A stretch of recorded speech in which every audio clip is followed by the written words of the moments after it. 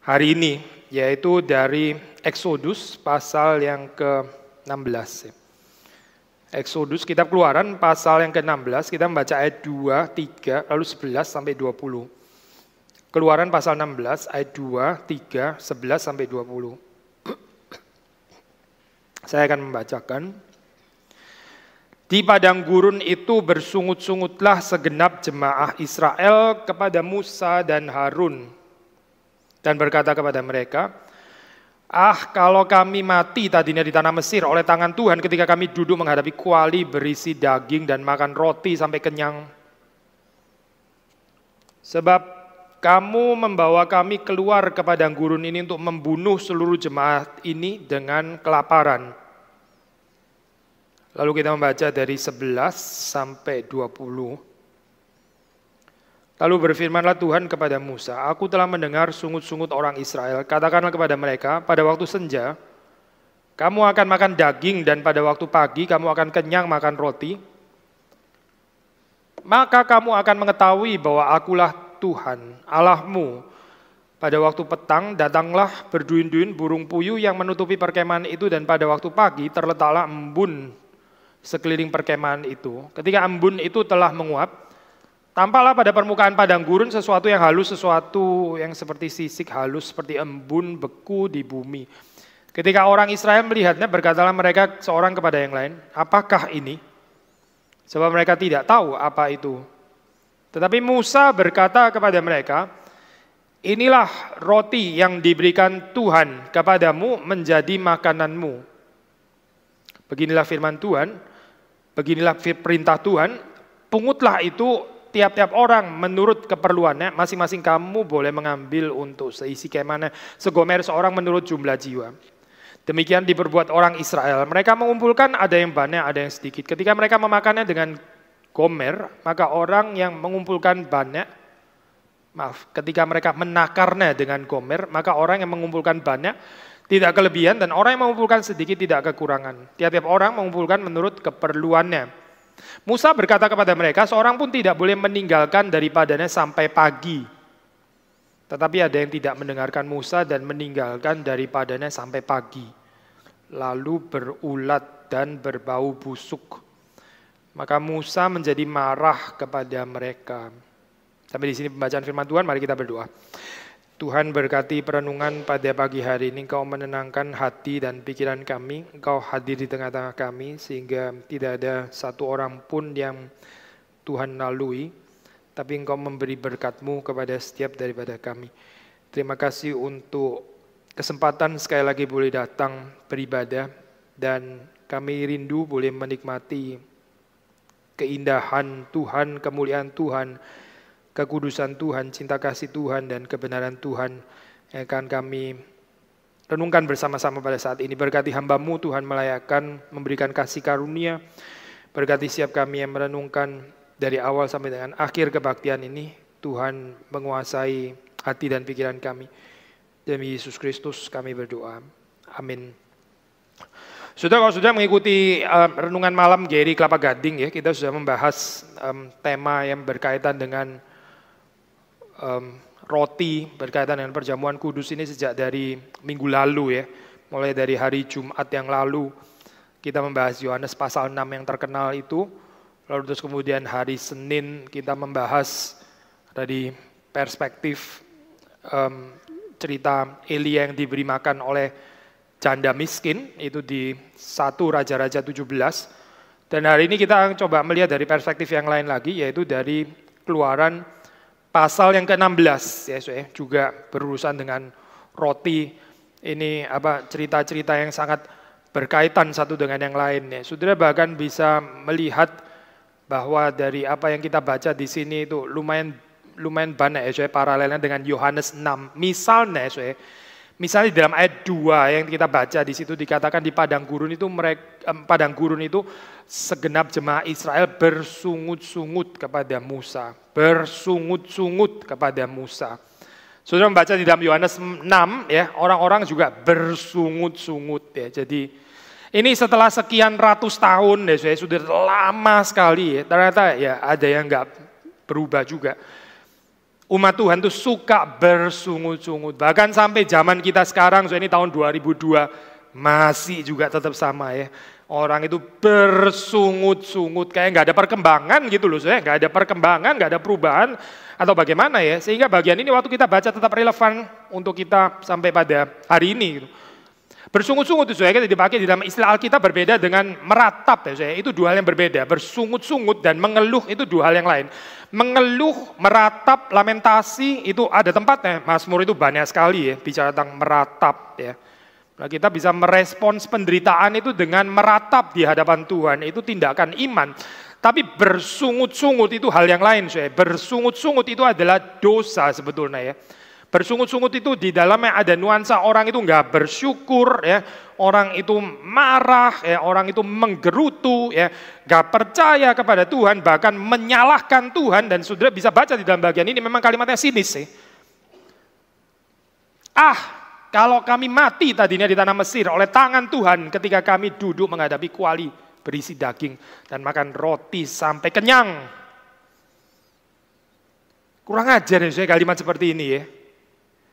Sudah tahu artinya mati oleh tangan Tuhan itu apa sih maksudnya gitu? Mati oleh tangan Tuhan itu kalau di dalam keluaran itu artinya ya, yaitu kena tulah itu loh, itu mati oleh tangan Tuhan. Mesir itu mati oleh tangan Tuhan karena tulah yang mereka alami ya, lalu terus kemudian ditenggelamkan di laut itu mati oleh tangan Tuhan. Jadi orang ini bilang mendingan saya mati ya oleh tangan Tuhan sama seperti orang-orang Mesir itu mati oleh tangan Tuhan, tapi tapi kita matinya di dalam keadaan duduk menghadapi kuali berisi daging dan makan roti sampai kenyang. Apa sih yang ada di sini ini ya? Yang ada di sini adalah yang penting itu adalah kebutuhan jasmani saya. Tuhan menyertai kek, Tuhan ada bersama saya, Tuhan memilih saya, Tuhan mengasihi saya, itu nggak penting. Yang penting adalah ini loh, perut saya kenyang, Urusan saya ekonomi, kesehatan saya, pekerjaan saya. Ya ini yang penting, kuali berisi daging, makan roti. Apa artinya bicara tentang Tuhan? Menyertailah, Tuhan mengasihilah, tapi kuali kosong. Apa gunanya? Gak makan daging, percuma kayak begini gitu. The only thing that matters itu adalah my physical needs, itu adalah satu-satunya yang saya paling perlu. Roti dan daging, sudah gitu. Mau Tuhan, ya bolehlah, itu add on gitu ya, add on, add on. Kita bukan orang ateis, kita orang beragama, kita orang Indonesia. Sila pertama tentang ketuhanan yang Maha Esa, maka ada baiknya kita beragama dan datang ke gereja. Tapi, tapi saya sebetulnya orang nggak betul-betul tertarik dengan Tuhan. Yang orang tertarik adalah kuali berisi daging dan makan roti sampai kenyang. Bahkan datang kepada Tuhan untuk kuali yang berisi daging dan makan roti sampai kenyang. Tuhan itu adalah cuma numpang lewat, Tuhan cuma vehicle, Tuhan cuma kendaraan. Goal di dalam kehidupan adalah kuali berisi daging dan makan roti sampai kenyang. Mirip ya, ya? mirip sekali loh dengan Yohanes pasal 6 kalau sudah baca ya. Yohanes pasal 6 mereka juga makan kenyang kan ya, dikenyangkan oleh Tuhan itu. Tapi waktu Yesus memperkenalkan dirinya, self disclosure, akulah roti hidup. Gak tertarik saya orang-orang itu, gak tertarik. Kenapa? Ya karena bagi mereka yang penting adalah perut kenyang, kuali berisi daging dan makan roti sampai kenyang. Itulah yang mereka pikirkan gitu. Sampai sekarang gitu ya, tahun 2002. Apakah berubah? Tidak juga saya, tidak itu. Orang nggak tertarik juga dengan Tuhan. Mendingan mati sekalian. Ini kurang ajar sekali ya kalimat seperti ini. Orang itu nggak sadar ya apa artinya mati oleh tangan Tuhan itu apa artinya? Nggak ada perasaan takut sama sekali. Yang mereka lebih takut adalah kalau kuali nggak ada dagingnya. Itu yang mereka lebih takut. Yang mereka lebih takut adalah kalau mereka makan nggak bisa sampai kenyang, itu mereka lebih khawatir, mereka lebih takut.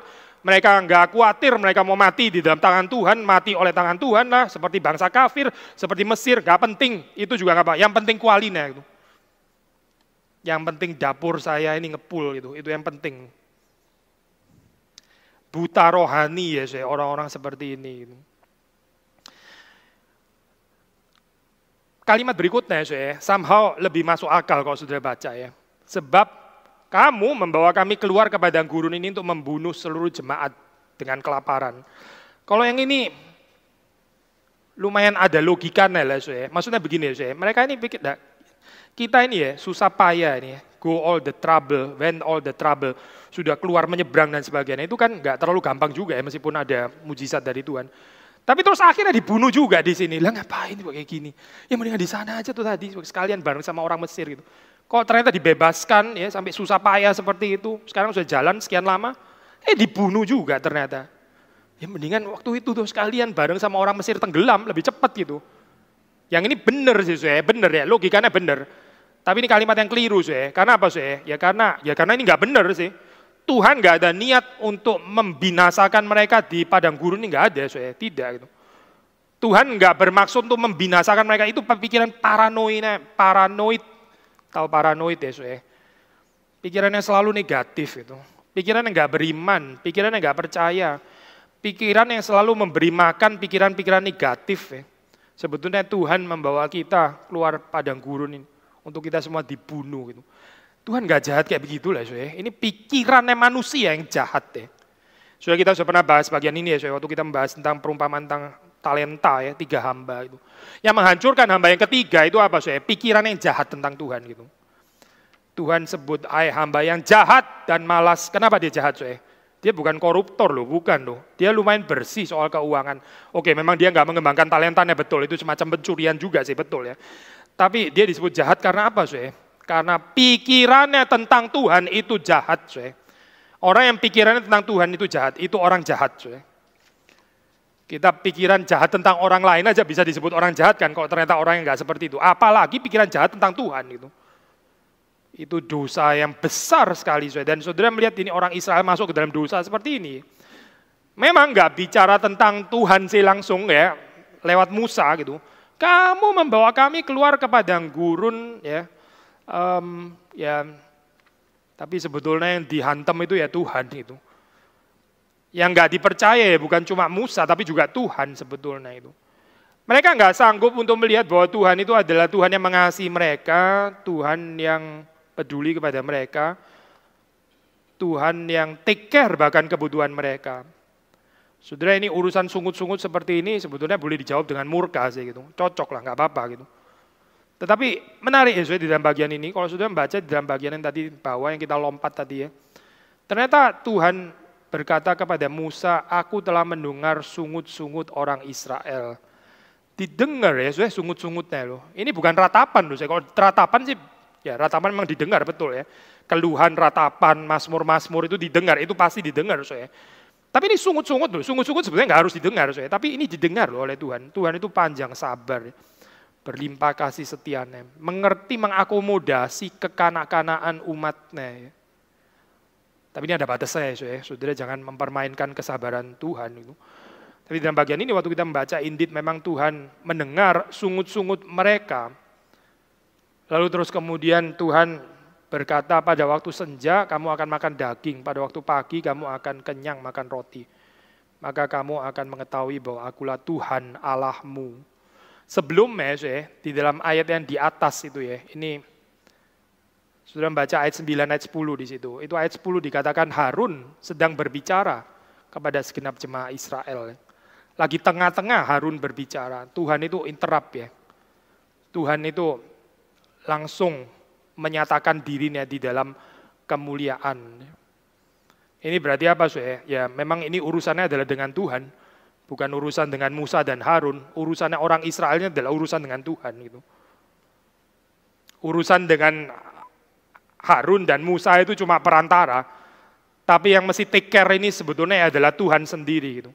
Dan saudara perhatikan bahwa Tuhan di sini waktu dia menampakkan dirinya, dia enggak tunggu Harun selesai bicara ya, tidak itu. Tuhan itu berdaulat. Tuhan nggak tunggu, uh, sudah, sudah, oke, okay, sudah selesai, oke, okay, sekarang giliran saya. Yaitu bukan Tuhan gitu. Saudara dan saya mungkin perlu tunggu giliran orang lain ngomong, tapi kalau Tuhan mau hadir ya dia hadir kapan saja. Gak usah tunggu hamba Tuhan, gak usah tunggu pendeta, gak usah tunggu siapa pun. Tuhan hadir, Tuhan hadir. Itu. Dan Tuhan hadir itu Tuhan menyatakan apa? Saya? Tuhan menyatakan kemuliaannya. Saya. Tuhan menyatakan kemuliaannya. Harun boleh saja memberikan instruksi-instruksi. Saya, Pak Jetro, ya Pak Heru, dan yang lain-lain. Boleh saja saya berkata kepada saudara di Bible Study, di khotbah, memberikan instruksi-instruksi. Tapi kalau saudara nggak berjumpa dengan kemuliaan Tuhan, Kalau saudara nggak berjumpa dengan kemuliaan Tuhan, saya khawatir saudara nggak akan pernah bertumbuh. Instruksi manusia itu ada batas saya. Perkataan manusia ya itu ada batasan. Musa pun di sini mengatakan katakan kepada segenap jemaah Israel dia bicara kepada Harun ya, marilah dekat ke hadapan Tuhan. Marilah dekat ke hadapan Tuhan. Inilah saya hamba Tuhan itu. Musa nggak mencoba untuk menyelesaikan persoalan ini sendiri gitu. Aduh, persoalan ini lagi, ini lagi, sini sini. Kayak nah ini kayak ini teknik chapter yang ketujuh kali ini ya. Chapter ketujuh akan menyelesaikan persoalan ini. Sini sini sini, itu kumpul ya gitu ya. Saya kasih tahu ya kamu, itu tidak. Musa membawa mereka kepada Tuhan. Pemosisian yang benar ini penting ya saudara. diundang untuk membawa orang kepada Tuhan. Saudara nggak diundang untuk membawa orang kepada diri saudara sendiri. Gitu. Seorang hamba Tuhan itu saya membawa orang ke hadapan Tuhan untuk melihat apa saya? Untuk melihat kemuliaan Tuhan. Dan perjumpaan dengan kemuliaan Tuhan inilah yang sungguh-sungguh merubah. Kalau saudara nggak berjumpa dengan kemuliaan Tuhan, di dalam kebaktian atau di dalam PA atau di dalam doa pribadi saat teduh dan sebagainya, ya sudah berarti nggak ada perjumpaan apa-apa. Berarti kita nggak melihat apa-apa. Gitu. Berarti kita ini kaum naturalistik ya, cuma mendengarkan instruksi-instruksi manusia biasa yang juga berdosa dan penuh dengan kelemahan. Akhirnya kehidupan kita juga nggak bertumbuh. Akhirnya kehidupan kita juga nggak ada perubahan apa-apa. Saya. Kenapa? Karena nggak pernah ada perjumpaan dengan kemuliaan Tuhan. Itu. Nggak ada. Itu. Nggak melihat kemuliaan Tuhan di balik firman, nggak melihat kemuliaan Tuhan di balik pekerjaan Tuhan, nggak melihat kemuliaan Tuhan di dalam kehidupan berjemaat. Nggak ada soal bagian itu. Exodus ini sangat mementingkan ini ya, saya. salah satu dari tiga poin besar ya, di dalam Exodus. Salah satu adalah ini, saya. Perjumpaan dengan kemuliaan Tuhan dan ini very much related dengan temple teologi, ya, dengan teologi bait suci. Orang di bait suci itu menikmati kemuliaan Tuhan, menikmati kehadiran Tuhan.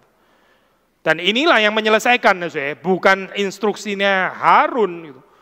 Bukan perkataan-perkataan yang terus kemudian Tuhan akhirnya interupsi dengan kemuliaannya sendiri.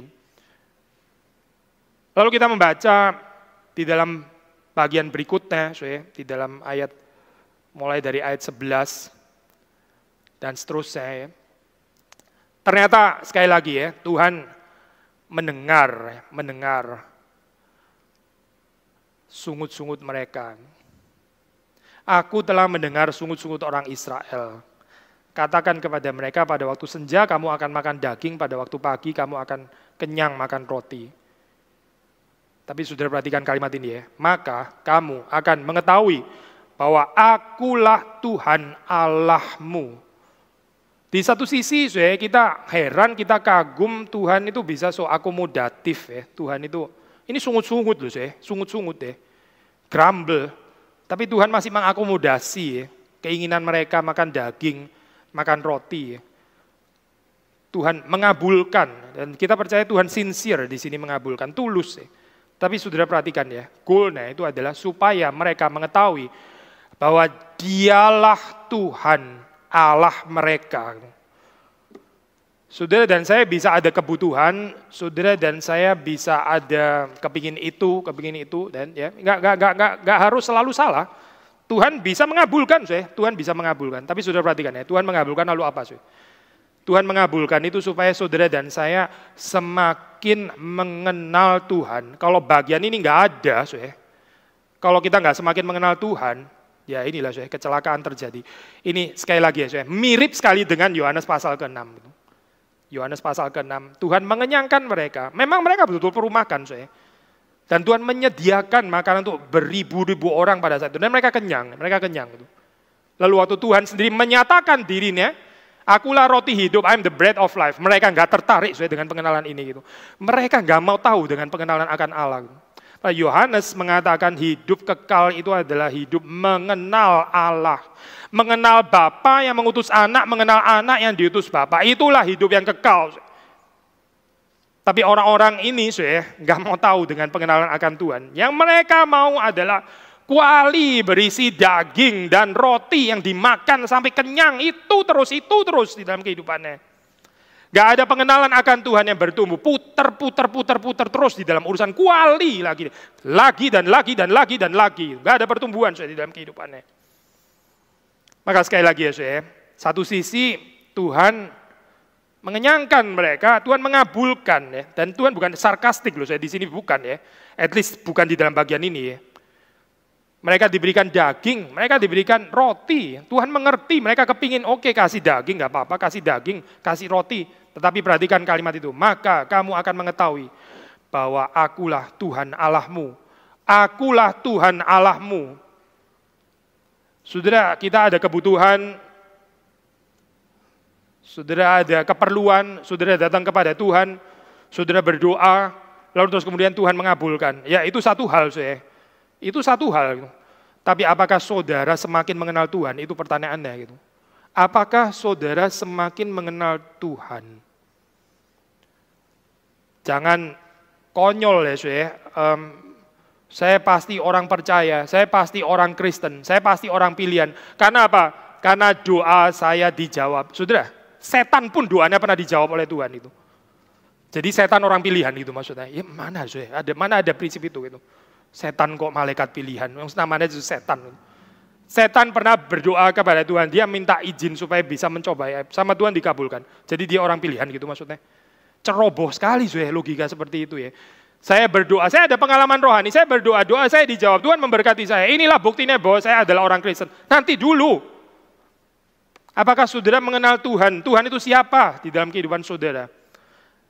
Apakah kita tertarik ya, untuk semakin hari semakin mengenal Tuhan, semakin dalam, semakin bertumbuh di dalam pengenalan akan Tuhan? Ayat 13, Betul, akhirnya Tuhan mendatangkan berduyun-duyun ya, burung puyuh menutupi perkemahan, menutupi perkemahan itu berarti banyak ya, menutupi sampai covering perkemahan. Lalu selain itu pada waktu pagi terletaklah embun sekeliling perkemahan itu ya. Daging diberikan ya, tapi fokusnya di sini ya, itu bicara tentang roti ini sebetulnya gitu. Bicara tentang mana ya. Ketika embun itu telah menguap, tampaklah pada permukaan padang gurun sesuatu yang halus seperti sisik, halus seperti embun beku di bumi. Nah ini menimbulkan pertanyaan ya, apa ya ini kira-kira gitu? Apa ya ini ya? Dan betul, memang orang Israel ini tanya karena mereka juga nggak mengerti. Waktu orang Israel melihatnya, mereka berkata seorang kepada yang apa ini? Apa? Apakah ini? Apakah ini sudah di dalam bahasa aslinya itu um, ini istilah mana itu sebenarnya muncul dari sini ya? Apakah ini itu manhu ya? Manhu terus kemudian bentuk abbreviated bentuk bentuk pendeknya itu what ya? What itu adalah man. Mana man ini apa sebetulnya ya? Di dalam bagian ini, saya kalau sudah melihat ini lebih baik ya, cerita di dalam Exodus pasal yang ke-16 ya, daripada Yohanes 6. Yohanes 6 itu waktu mereka nggak mengerti, mereka nggak tanya. Mereka kesulitan dengan perkataan Yesus, akulah roti hidup. Apa ini? Itu. Tapi mereka bukan tanya untuk mengenal, ya. mereka mengatakan ketidakmengertian itu sebagai satu judgment. Sudahlah, orang ini gila sepertinya gitu. Jangan-jangan dia, dia ini nggak waras ya, atau kerasukan setan atau apa sih sebetulnya gitu. Tiba-tiba ngomong kalimat sudah betul-betul mencukupi kebutuhan saya, perut saya kosong, kenyang, sudah benar yang sini malah dia naik-naik ke tempat yang gak jelas kayak gini. Gitu. Roti hidup lah, makan dagingnya lah, minum darahnya dan sebagainya. Kalimat apa ini? Mereka tidak tanah seperti orang-orang di sini. Mereka nggak tanya apa itu, Bagaimana itu? Artinya apa? Enggak, enggak tanya. Mereka pokoknya kasih judgment. Sudahlah, kita sampai di sini saja. Sudah enggak usah ngomong lagi. Kita sudah kenyang. Yang kita kepingin, ya, yaitu bagaimana Yesus itu menjadi Raja Roti. Bukan dia bicara-bicara kalimat yang enggak jelas itu. Apakah ini di dalam ketidakmengertian, di dalam ketidakmengertian, lalu mereka bertanya dan perhatikan, saya pertanyaan ini ya saya, ini lebih baik ya untuk kita renungkan daripada kita tanya pertanyaan yang bukan-bukan yang sebetulnya Alkitab itu enggak concern untuk menjawab itu. Gitu. Saya percaya kalau saudara di sini sudah ikut SPK berkali-kali ya, kayak ini apa, Pak Jetro ya, saya dan yang lain-lain kita sudah sering sekali ingatkan saudara waktu kita baca firman Tuhan. Saudara jangan tanya pertanyaan-pertanyaan yang enggak ada perlunya gitu, yang enggak akan menjadi berkat itu. Yang akhirnya nggak membuat saudara bertumbuh, tapi sekedar untuk mengisi dan mem mem mem memuaskan kuriositasmu. Kuriositas itu enggak tentu sikap hati yang benar saya. Cuma mau isi otak saja ya, enggak bertumbuh saya yakin ya gitu. Cuma cuma isi otak ya. Misalnya ya, kalimat ini ya, apakah ini ya, apa sih ini? Mungkin sudah juga bisa pertanyaan, apa ya ini? Ini, ini apa sih sebetulnya? Scientifically speaking ini apa sih sebetulnya ya? Mungkin sudah pernah dijelaskan juga ya oleh Pak Jetro gitu. Uh, sudah bisa baca komentari juga sih. Ini kalau secara natural, penjelasannya kemungkinan besar adalah eksudan, yaitu eksudannya dari eh, kutu-kutu yang suka apa ini apa um, hinggap atau berada di pohon-pohon tamariska, pohon-pohon tamariska itu banyak sekali di ini ya, ya apa um, um, um, um, padang gurun Sinai gitu. Jadi ada pohon-pohon tamariska, ada kutu-kutunya dan sebagainya. Kutu-kutunya itu mengeluarkan cairan ya, ee eh, -e, gitu ya. Ya ini kemungkinan itu sih. Tapi Alkitab nggak tertarik sama sekali ngomongin ini sih. Bukan berarti saudara nggak boleh menyelidiki sains, silakan belajar sains gitu ya. Tapi sudah membaca ya di dalam bagian ini ya. Waktu orang Israel tanya apakah ini ya. Musa menjawab apa? Gini loh ya, ini ada pohon-pohon tamariska. Pohon-pohon tamariska ini ada kutu-kutu kutu-kutu kutu. Kutu-kutu kutu ini mengeluarkan cairan. Nah, inilah cairan yang dihasilkan oleh kutu-kutu yang ada. Musa nggak ngomong itu saya, tidak itu. Itu penjelasan saintifik, boleh saja, menarik saya penjelasan seperti itu, tapi ini nggak membawa ke mana-mana gitu.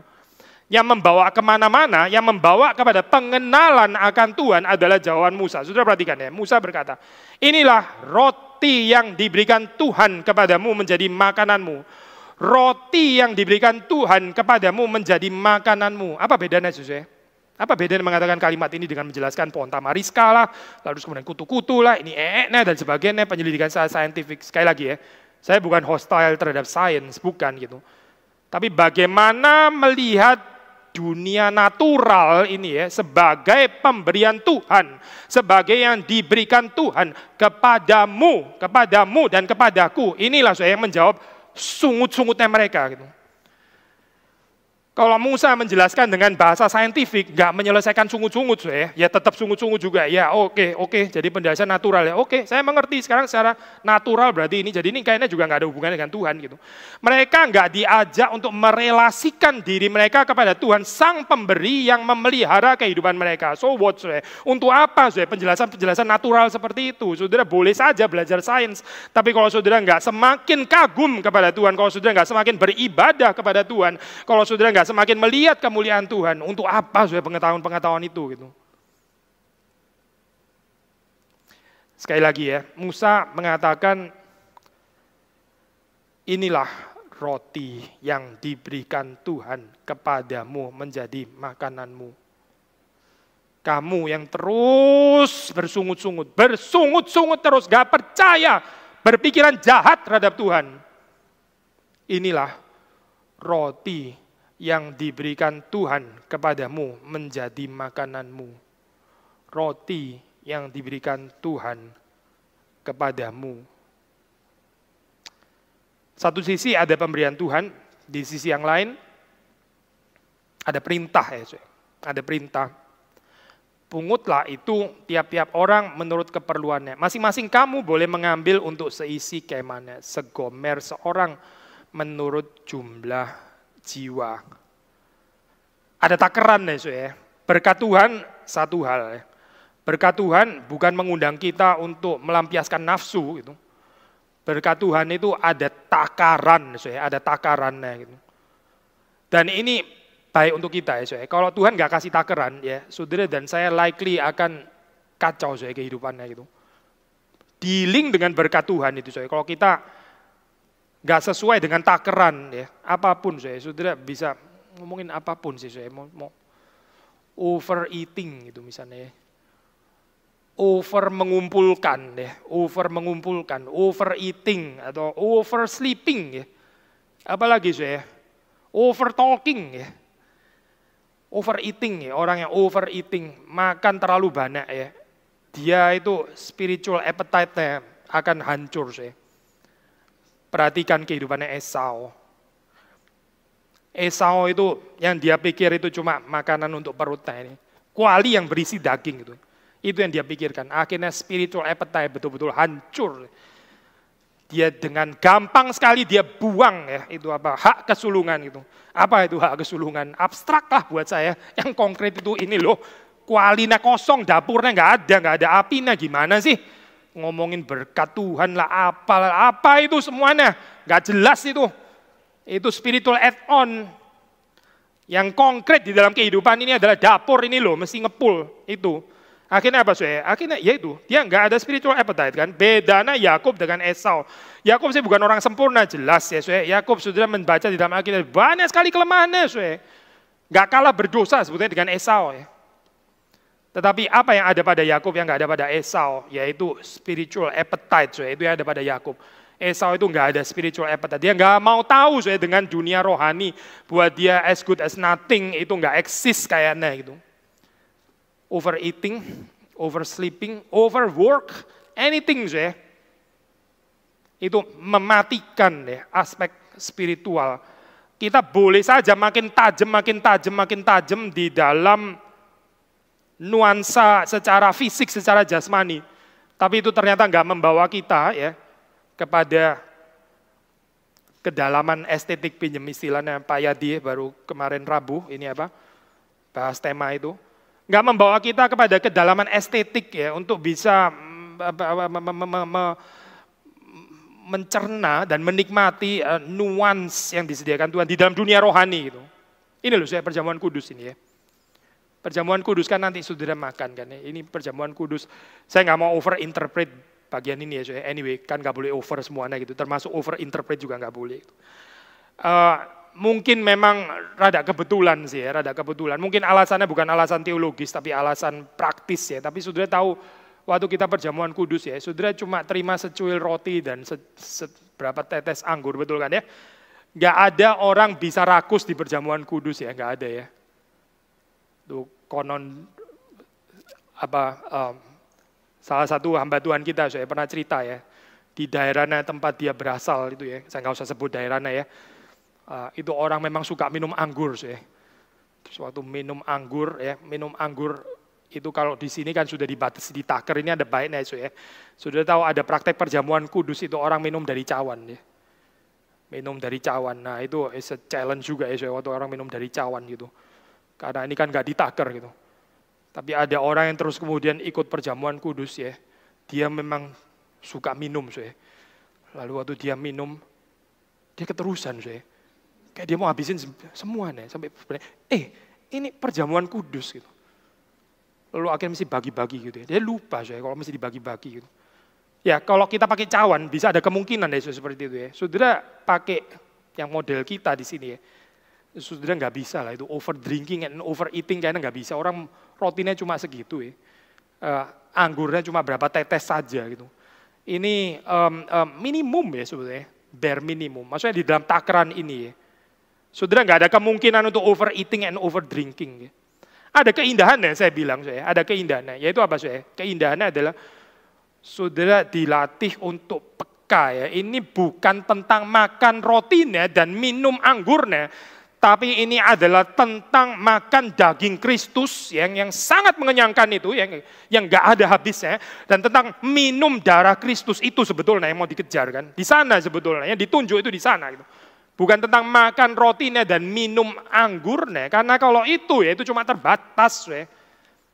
Saudara nggak akan puas kali ya secara jasmani gitu. Tapi memang ini dipersiapkan minimum saja untuk membawa kita kepada spiritual realm ya. Yang nggak habis-habis diminum dan dimakan itu adalah tubuh Kristus dan darah Kristus sebetulnya itu. Spiritual appetite ya sekali lagi ya. Masuk ke dalam dunia rohani. Hati-hati ya saya di dalam kehidupan over itu. Kalau bukan over lalu apa ya? Ya moderate lah saya, moderate, moderate. Tapi mungkin saudara bilang, tapi kalau moderate itu kayaknya banyak ya ajaran mengajarkan moderate kan nggak uniquely Christian ya. Betul sih saya, Aristotle ya sudah mengajarkan tentang hidup moderasi. Itu nggak uniquely Christian gitu. Di agama-agama lain um, banyak saya mengajarkan hidup moderate memang bukan cuma Kristen gitu. Tapi hidup moderate di dalam pengertian Kristen itu apa sih yang membedakannya? Hidup moderate itu bukan an end in itself, bukan. Saudara bukan hidup moderate demi hidup moderate itu sendiri, bukan. Saudara bukan hidup moderate supaya badan agak langsing. Bukan, saudara, bukan.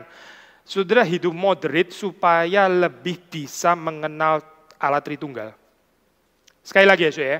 The end, the goal itu adalah pengenalan akan alat Tritunggal. Karena orang yang overeating, over drinking, over sleeping, over worrying, ya, over shopping, over over apa pun lah, saudara itu orang-orang itu nggak bisa mengenal Tuhan, sudah nggak bisa mengenal Tuhan. Karena apa? Ya karena ini, karena dia dibutakan, sudah dibutakan dengan urusan-urusan jasmani yang dia semuanya itu over, over working, over shopping, over sleeping, over resting, over traveling dan seterusnya dan seterusnya. Ini, sudah ini membutakan seseorang, membawa dia itu nggak bisa mengenal Tuhan, nggak bertumbuh di dalam pengenalannya kepada Tuhan.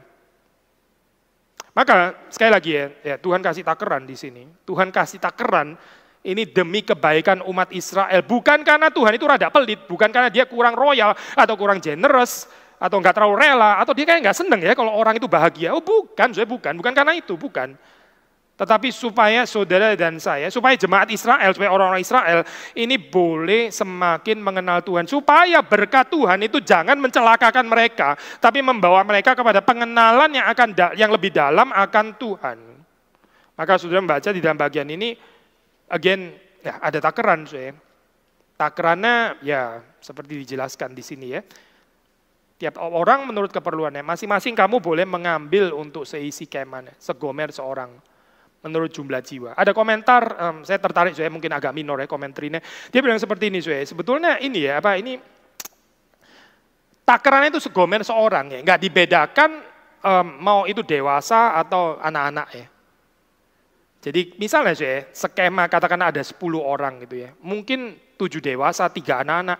Atau mungkin 3 dewasa, 7 anak-anak. Ya pokoknya 10 gomer gitu kan ya. Saudara mengerti ya implikasinya apa ya. Silakan atur sendiri ya. Nggak harus persis legalistik kaku ya. Segomer untuk satu orang. Ya lu bagi sendiri lah ini urusan household ya. Ada fleksibilitas itu. Anak-anak kan biasanya makan nggak sebanyak orang dewasa, betul kan so ya? kecuali orang dewasa sakit gitu ya, lain lagi nggak nggak kepingin makan gitu ya. Tapi kalau yang normal kan orang anak-anak kan makan lebih sedikit daripada orang dewasa. So sangat ada kemungkinan ya, orang dewasa itu boleh makan lebih daripada segomer ya daripada sisa anak-anak yang tadi nggak habis itu ya, ya boleh dimakan orang dewasa. Atur aja gitu. Bukan strictly segomer seorang gitu misalnya. Aturannya itu sebetulnya seisi kemah. So, ya. Dan ini ini pengaturan satu household ya sebetulnya. Ini satu keluarga, satu kemah gitu. Ya, ada yang makan lebih banyak, membutuhkan lebih banyak. Ada yang enggak terlalu segitu perlu sampai segomer, ya silakan makan lebih sedikit. Tapi ya boleh di-share kepada yang lebih membutuhkan, ya atur atur aja. Saya. Pengaturan Tuhan itu bukan pengaturan apa ya saya sampai membuat kita sampai tercekik nggak bisa lagi ada Christian freedom gitu misalnya. I think itu paranoid ya, nader paranoid dan pikiran jahat terhadap Tuhan. Uh, pengaturan Tuhan ya, ada tetap space kok, ada ruang untuk kita tetap bergerak sebetulnya. Sudah kita mengutip pernah mengutip perkataan Agustinus yang terkenal itu ya, um, love your God and do whatever you want gitu. Itu kalimat berani sekali ya, ya. Do whatever you want. Tapi dia benar sih, karena ada kalimat pertama nih, love your God. Ya. Kalau kita mencintai Tuhan kita dengan segenap hati, segenap akal budi, segenap kekuatan, segenap jiwa, maka lakukanlah apa saja yang menurut kehendak hatimu. Ya. Itu pasti oke okay, gitu. Ada space, ya, ada ruangan yang luas untuk bergerak gitu. Kekristenan itu bukan nggak boleh ini, nggak boleh itu, nggak boleh ini, nggak boleh ini, sempit sekali gitu. Ya oke okay lah, ada ada bagian lain yang bicara tentang jalan sempit betul gitu ya. Tapi kita bicara lain kali bagian itu. Cuma menggambarkan kekristenan sebagai yang ini nggak boleh itu nggak boleh legalistik banget ya. I, I think itu bukan kekristenan lah saya. Itu ajaran manusia gitu. Saudara melihat di dalam bagian ini ya, ada pengaturan ya. Masing-masing kamu boleh mengambil untuk seisi kemahnya ya Bagaimana hitungannya segomer seorang ya. Setelah itu ya, silakan siapa yang makan lebih banyak, siapa yang makan lebih sedikit ya. Kamu tahu sendirilah di dalam hal ini ya. Ini ya um, komentari minor yang buat saya menarik. Sudah waktu membaca di dalam bagian berikutnya ya, mungkin kita agak bisa salah mengerti waktu di situ dikatakan um, mereka menakar dengan gomer, lalu terus kemudian orang yang mengumpulkan banyak tidak kelebihan. Orang yang mengumpulkan sedikit tidak kekurangan. Ya kalau kita nggak baca di dalam konteksnya, kita bisa pikir ada orang yang ngumpulin banyak ya, tiba-tiba menciut gitu ya, tiba-tiba menciut. So ada orang yang ngumpulin sedikit karena dia kurang sama Tuhan ditambah jadi ajaib nambah sendiri gitu ya ukurannya. Bukan itu saya maksudnya gitu. Waktu di sini dikatakan orang yang mengumpulkan banyak, ya itu orang yang seisi kemahnya orang lebih banyak. Yang seisi kemah orang lebih banyak, tentu dia mengumpulkan lebih banyak. Dan yang mengumpulkan lebih banyak, itu nggak kelebihan. Ya karena memang jumlah orangnya juga banyak kan. Tapi di seisi kemah yang orangnya sedikit, pasti ngumpulin secara gomernya juga lebih sedikit kan ya. Orang yang mengumpulkan sedikit juga tidak kekurangan ya. Karena apa? Ya karena sudah ditakar oleh Tuhan gitu.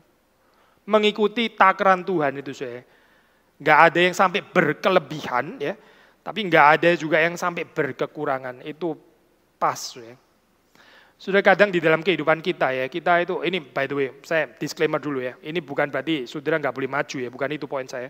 Tapi kadang-kadang itu kita kepingin melampaui takaran kita ya, kita nggak tahu bahayanya gitu.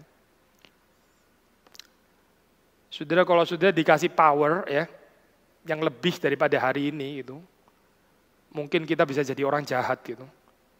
Mungkin kita bisa jadi orang yang abusing power ya. Dan Tuhan tahu karena kita nggak tahan dengan kuasa, jadi saudara ya sudah takarannya segini saja gitu. Kita nggak pernah tahu ya, ya kita akan jadi seperti orang apa gitu. Saudara ingin kenapa ya saya nggak bisa ini ya punya uang sampai segini gitu misalnya. Kenapa saya segini? Kita nggak pernah tahu saya kalau uang kita segitu kita jadi apa gitu. Mungkin kita binasa setelah itu gitu. Karena punya uang segitu itu. Tuhan tahu ya takaran setiap orang. By the way, sekali lagi saya, ini jangan salah tafsir ya. Saya bukan mengatakan, oh saudara jangan bertumbuh, saudara jangan berkembang, pokoknya segini saja status quo. Bukan saya, ini bukan justification status quo, bukan itu maksud saya. Tapi bahwa Tuhan mengenal takaran setiap orang dan gak usah iri saya sama orang lain, gak usah banding-banding ya. Karena kita nggak tahu kalau kita dikasih porsi seperti itu ya di dalam perumpamaan talenta itu ada kalimat yang menarik dikatakan ya waktu satu diberikan lima talenta, yang lain dua talenta, yang satu itu satu talenta. Terus kemudian ada kalimat masing-masing menurut kesanggupannya, menurut kesanggupannya. So, Coba saya, orang kalau kesanggupannya satu talenta lalu dia dikasih lima talenta, apa nggak kacau saya? Apa nggak dia akan masuk ke dalam penghakiman yang kacau nanti gitu? Wong dia memang nggak bisa mengelola lima talenta, tapi dipaksa dikasih lima talenta, apa nggak berantakan hidupnya gitu? Untuk apa saya seperti itu gitu?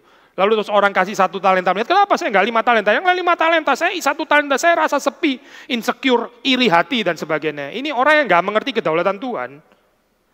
Orang yang nggak mengerti takaran yang diberikan Tuhan itu pas, tepat, saya, tepat. Sekali lagi ya, untuk kesekian kalinya. Ini bukan justification untuk status quo. Karena kehidupan Kristen itu bukan statis ya, tapi dinamis, ada pertumbuhan.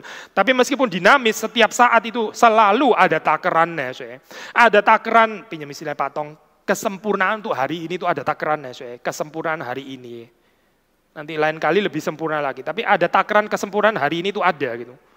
Ada takaran yang persis yang diberikan oleh Tuhan di dalam kehidupan kita sehingga kita nggak perlu menjadi serakah. Ya. Bagian terakhir saya, ayat 19, ayat 20 ya. Saudara, atau sebelumnya ya, tadi kan kita bicara waktu ini ya, uh, waktu mereka mendengar takaran yang diberikan Tuhan, itu mundur sedikit ya saya, ayat 17, dikatakan bahwa demikianlah diperbuat orang Israel. Ya, berarti mereka ini taat ya saya, Sampai di sini ya, sampai ayat 17 ini ya, bahkan sampai ayat 18 ya. Itu gambarannya itu positif itu. Jadi mereka itu mengikuti pengaturan Tuhan, takaran yang diberikan Tuhan, mereka mengikutinya. Gitu. Sampai di situ ya. Tapi terus kemudian waktu kita mulai membaca ayat 19, ya, ternyata ada peraturan yang dilanggar di situ. Musa berkata kepada mereka, seorang pun tidak boleh meninggalkan daripadanya sampai pagi. Tetapi ada yang tidak mendengarkan Musa dan meninggalkan daripadanya sampai pagi. Lalu berulat dan berbau busuk. Maka Musa menjadi marah kepada mereka. To be precise ya, ya.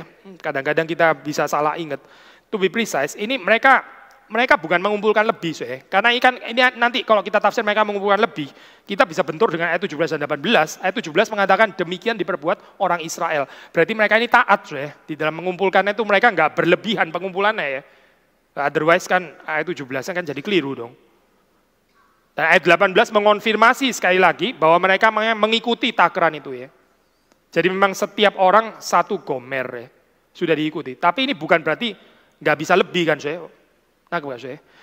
pengumpulannya itu sudah benar gitu. Tapi waktu makan boleh dong, saya orang makan nggak habis ya boleh dong. Masa kan nggak ada peraturan kamu bagaimanapun harus selalu habis, mau kenyang nggak kenyang atau apa, pokoknya habis saja gitu ya, nggak boleh ada sisa sedikit pun. Nggak ada kan, saya pengaturan itu nggak ada, jadi boleh nggak habis sih. Nah ini loh, setelah nggak habis itu apa gitu. Ternyata saya ada pengaturan kalau nggak habis itu nggak boleh dimakan gitu.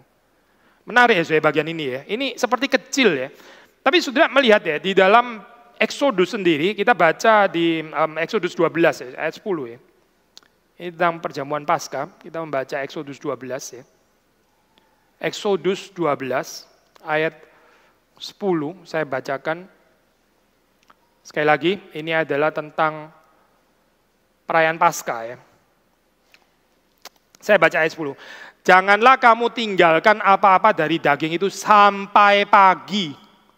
Apa yang tinggal sampai pagi, kamu bakarlah habis dengan api. Sudah ada pengaturan saya tentang leftover ya, tentang makanan sisa. Ya. Makanan sisa itu saya harus dibakar. Gak boleh dimakan besoknya gitu. Sekali lagi ya, ini bukan karena persoalan over gathering, bukan. Karena sudah sudah baca di ayat 17-18, mereka mengikuti kok takarannya gitu. Tapi mengikuti takarannya bukan berarti habis kan makannya gitu masih ada sisa. Nah pertanyaannya sisa ini lalu bagaimana gitu? Ya namanya orang sayang gitu ya. Saya itu bahasa saya saya saya itu orang Jawa, saya di Jawa Timur itu ada istilah nyuso, saya namanya gitu ya. Saya nggak tahu itu bahasa Indonesia apa. Nyuso itu adalah itu barang-barang itu disimpan saya padahal nggak perlu gitu ya ntar beli apalah disimpan lah apa disimpan botol ini sih akhirnya gak karu-karuan barang makin lama makin banyak gitu ya itu orang yang suka nyusu namanya gitu ya apa itu bahasa Indonesia nih ya Eh, kita suka kumpulin yang sebenarnya kita nggak perlu gitu. Nah ini loh saya, ini berurusan dengan leftovers ini bagaimana gitu. Apa sih sebetulnya yang mau diatur oleh Tuhan? Ya, di sini kita akan membaca waktu sisa sampai pagi itu ya. Akhirnya yang terjadi adalah makanan itu berulat dan berbau busuk ya, berulat dan berbau busuk. Ini berkat dari Tuhan loh. Masa berkat dari Tuhan kok bisa berulat gini ya? Ini jangan-jangan KW atau apa ya? Ini bikinan dari mana sih ini sebetulnya gitu. Ini dari Tuhan atau bukan dari Tuhan? Dari Tuhan saya. Ini asli dari Tuhan. Benar-benar Tuhan yang menyediakan. Tapi berkat Tuhan itu sekali lagi ya saya, itu diberikan Tuhan itu sesuai dengan takaran hari itu. Saudara nggak bisa simpan berkat Tuhan hari itu untuk hari besok. Hari besok itu ada kesusahannya sendiri. Sounds familiar ya saya berapa related nih bagian ini dengan Matius 6 gitu. Hari ini ada berkat untuk hari ini, besok kita minta lagi mendapatkan anugerah Tuhan yang segar, yang selalu baru tiap pagi. Bukan anugerah Tuhan kemarin, bukan kesetiaan kemarin, bukan kesetiaan Tuhan yang dikeluarin dari freezer, bukan. Ini kesetiaan Tuhan yang segar sekali lagi gitu. Kenapa makan makanan kemarin gitu? Kurang fun itu ya. Dan kehidupan yang nggak terlalu fun kayak begini sih, ini berakibat kepada ibadah kita kepada Tuhan itu. Orang yang nggak mengalami kesetiaan Tuhan setiap hari, selalu segar, selalu pagi, ibadahnya juga gitulah sudah. Nggak segar setiap hari gitu. Dia bersyukurnya ada mekanistik, klise, apa ini politically correct gitu misalnya ya theologically correct perhaps gitu. Tapi tapi tapi tapi ya ya ya nggak betul betul dari dalam hati ini. Karena apa saya? Karena pengalaman itu pengalaman tujuh hari lalu. Oh perhaps pengalaman tujuh tahun lalu gitu. Lalu saya mesti mengingat-ingat mesti bersyukur sekarang. Itu pengalaman sudah tujuh tahun lalu. Come on lah aduh Tuhan bukan itu, saya. Tuhan itu memberikan kepada sudah pengalaman rohani itu setiap hari. Tadi kita berdoa doa Bapak kami kan, give us this day our daily bread. Bahasa Indonesia agak sedikit bebas sih menerjemahnya. Berikanlah kami pada hari ini makanan kami yang secukupnya. Sebetulnya kalau mau diterjemahkan lebih dekat ya. Berikanlah kami pada hari ini makanan kami hari ini. Makanan kami hari ini, our daily bread roti hari ini, makanan hari ini, nasi hari ini. Berikanlah kami pada hari ini makanan takaran hari ini. Lalu besok bagaimana? Ya besok saya doa lagi lah. Besok saya doa lagi, saya minta lagi, dan Tuhan akan beri lagi, dan saya akan kagum lagi, dan saya akan bersyukur lagi. Bersyukurnya saya besok itu karena urusan besok, karena pertolongan Tuhan besok, dan bukan karena hari ini. Gak ada pertolongan Tuhan yang gak hadir, sehingga kita mesti recall, kapan ya terakhir Tuhan tolong saya? Tahun berapa ya Tuhan tolong saya? Uh, uh, 2017, sudah lama sekali ya kayaknya gitu. Lalu kita masih bersyukur pada tahun 2022 untuk pengalaman rohani 2017 gitu. Apa? Revo 500 gitu ya. Agak repot kali ya sudah ya. Mendingan kita cari-cari kali ya. 2018 ada peristiwa reformasi apa, 2019 ada peristiwa reformasi apa, 2020 ada peristiwa reformasi apa, dan seterusnya. Sehingga waktu bersyukur, ya memang bersyukur untuk tahun itu gitu. Bukan bersyukur untuk tiga tahun, empat, lima tahun lalu gitu. Sekali lagi ya, give us this day our daily bread. Di dalam doa Bapak kami. Tuhan mengajar kita untuk bergantung kepada dia ya. Selain kebergantungan, kebergantungan itu apa sih? Ini bukan karena Tuhan insecure gitu ya. Tuhan seperti kayak lebih seneng kalau orang bergantung karena kalau dia nggak dibergantungi terus kayaknya gimana tersinggung. Bukan saya, itu demi saudara dan saya. Karena waktu kita bergantung kepada Tuhan, kita tuh ada relasi. Waktu ada relasi berarti kita ada kehidupan gitu. Tuhan memberikan berkat itu cukup saya, satu hari ya. Dan ini kita nggak boleh simpen deh, karena itu berulat dan berbau busuk. Ya. Kerohanian kita bisa berulat dan berbau busuk kalau kita simpan berkat Tuhan yang cukup itu, yang kita bisa taruh freezer, dan bersama dengan itu, perhaps unconsciously, kita bilang, bye-bye Tuhan, vouchermu cukup untuk tujuh hari itu. See you next week itu misalnya. Oh, enggak sih, tidak gitu. Itu bukan Tuhan yang kita percaya, bukan itu. Tuhan yang kita percaya itu mau berhubungan dengan saudara dan saya setiap hari, saya setiap hari. Bukan tujuh hari sekali itu, karena berkata Tuhan, cukup untuk tujuan. Mungkin memang bisa cukup gitu. Tapi Tuhan nggak mengendaki itu dibuat berulat dan berbau busuk. Supaya apa sih? Supaya bisa mencium setiap hari itu keharuman Tuhan. Bukan makanan ini nih yang bisa busuk ini, ini bisa busuk ini. Ini bukan yang kamu gantungi, bukan itu. Bukan, itu berulat dan berbau busuk. Satu hari saja cukup gitu. Tetapi Tuhan itu kekal. Kristus itu kekal. Roti ini saya bisa rusak gitu. Karena itu kita kita selesai kita nggak simpen di mana begitu ya saya tidak gitu. Benar-benar bisa rusak dan itu membahayakan saya. Tapi Tuhan waktu memberikan memberikan um, um, um, memberikan roti ini ya, itu dia mencegah penyakit ya.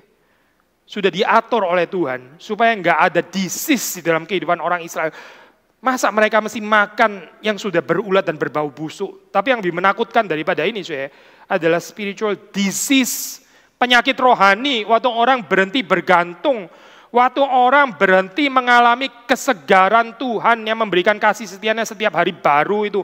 Waktu ini berhenti saya terjadilah kebusukan juga di dalam kehidupan seseorang. Perhaps poin yang terakhir ya. Kenapa Tuhan menyiapkan berkat ini hanya untuk satu hari. Supaya orang Israel juga setiap hari boleh berbagian di dalam mengumpulkan itu ya. Ini indah loh saya bagian ini ya, karena bekerja itu meaningful gitu. Bekerja itu meaningful saya. Tuhan memberikan tanpa campur tangan kita, ya tentu dia bisa gitu. Tuhan memberikan mana ya uh, uh, nggak usah dikumpulkan. Giliran kita apa ini namanya saya menguap pagi-pagi tiba-tiba itu terbang masuk ke mulut kita gitu ya. Uh, itu kayak siap apa ini saya apa ada satu komedian bicara tentang apa apa ini nih saya um, kehidupan di Amerika yang semuanya serba mau apa itu mau apa instan deh saya um, Amazon Prime gitu Pernah pernah lihat nggak sih? Gak pernah ya. Um, dia bilang kalau bisa um, Amazon now gitu bukan emas itu tunggu berapa jam? Kelamaan mesinnya saya klik ya. Dalam hitungan detik sudah sampai di tangan saya gitu. Karena orang suka banget ya dengan instan gitu. Orang suka banget dengan pemberian Tuhan sola gratia yang dia nggak usah ngapa-ngapain. Sudah itu bukan kekristenan saya itu itu bukan teologi reform. Itu itu ajaran fatalisme ya, ya. Itu ajaran untuk mendukung orang-orang malas sebetulnya gitu. Lalu mengatasnamakan pakai teologi kasih karunia. Ngawur saya itu. Itu nggak ada hubungannya dengan teologi kasih karunia. Teologi kasih karunia yang sudah baca di sini ya, itu roti betul-betul dari Tuhan ya. Kalau Tuhan nggak memberikan, nggak ada yang bisa dimakan. Tuhan memberikan ya, tapi terus kemudian orang Israel itu diajak untuk mengumpulkannya dan itu juga setiap hari, setiap hari perlu mengumpulkan. Kenapa ya Tuhan memberikan kemungkinan ini ya? Bukan sekali lagi ya, bukan karena Tuhan kok nggak seneng ya kayaknya kalau saya nganggur gitu. Aduh, pikiran jahat lagi, pikiran jahat lagi gitu. Tuhan mau memberikan meaning di dalam kehidupan saudara waktu saudara bekerja gitu. Orang kalau nggak mendapatkan meaning di dalam pekerjaan lagi ya, ya, ya dia nggak mengerti kekristenan berarti gitu. Saudara kalau merasa hidup saudara lebih meaningful dengan saudara diem-dieman nonton Netflix 12 jam sehari gitu ya, terus tidurnya bisa panjang dan sebagainya, terus saudara disuapin dan sebagainya, itu mungkin saudara stroke kali, nggak tahu lah. Itu saudara sudah sakit namanya gitu. Tapi kalau kita sehat, ya kita kita gelisah dong harusnya dengan kehidupannya seperti itu. Mana enak sih kehidupan di karantin 10 tahun gitu misalnya. Keadaan vegetatif ya, yang semuanya masih ditopang oleh orang lain. Itu nggak ngapa-ngapain. Sudah mau kayak gitu gitu maksudnya. Saya nggak sedang menyinggung orang yang benar-benar sedang vegetatif ya. Bukan itu poin saya gitu. Apakah itu kehidupan yang kita dambakan? Financial freedom sampai nggak perlu ngapa-ngapain lagi gitu. Kenapa Tuhan memberikannya itu cukup untuk satu hari dan lewat satu hari itu menjadi berulat dan busuk ya. Karena Tuhan mau melibatkan saudara di dalam pekerjaannya, termasuk pekerjaan yang kita bilang sola gratia itu. Gitu. Meskipun ini sola gratia, solely by God's grace, tapi tetap Tuhan itu mau melibatkan kita di dalam, dan kita bersyukur ya, untuk itu. Bahkan ya, untuk urusan kita sendiri Tuhan juga mau melibatkan. Gitu. Ini pekerjaan kan, pekerjaan ini mengumpulkan siapa yang makan? Ya mereka sendiri kan sebetulnya kan, seisi kemah mereka kan. Ini pun adalah sesuatu yang lebih indah kalau orang itu ada bagiannya daripada nggak ada bagian sama sekali. So, ya. Kalau nggak ada bagiannya, semuanya Tuhan, Tuhan yang kasih, saya nggak ngapa-ngapain dan sebagainya, saya diem saja gitu, saya nyantai di rumah dan sebagainya. Sekali lagi ya, so, ya um, bukan kekristenan.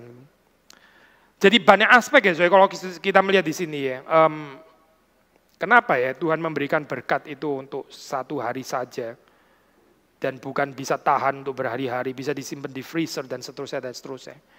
Saudara dan saya kita belajar untuk bergantung kepada Tuhan itu hari demi hari.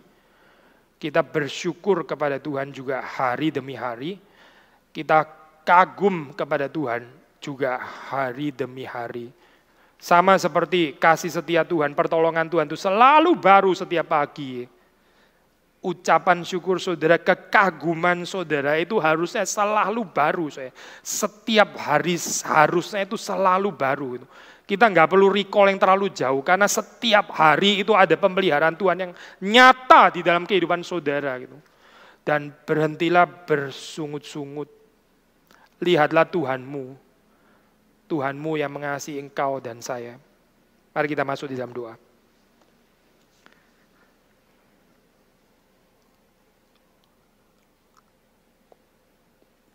Tuhan kami bersyukur untuk firman Tuhan dan sebentar kami akan menikmati Tuhan yang menjamu kami. Bukan dengan roti yang bisa berulat dan menjadi busuk tapi dengan tubuhmu yang mulia, yang suci itu, dan dengan darahmu yang kudus. Kami bersyukur karena kami yang tidak layak, kami boleh diundang untuk semeja dengan engkau. Masuk ke dalam perjamuan yang Tuhan sediakan dan kami berharap sama seperti Tuhan sudah memberikan dirimu kepada kami dan kami nikmati, kami memohon anugerah Tuhan supaya kami juga boleh mempersembahkan kehidupan kami, boleh dinikmati oleh Tuhan. Terima kasih Tuhan untuk kesempatan hari ini. Berkati jemaatmu, Tuhan mempertumbuhkan kami semua. Demi Yesus Kristus kami berdoa, kami bersyukur. Amin.